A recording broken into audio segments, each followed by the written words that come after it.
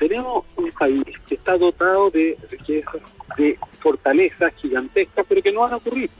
Y no van a ocurrir porque no tenemos, tenemos un territorio inteligente, pero no tenemos ciudadanos inteligentes. No somos una sociedad inteligente.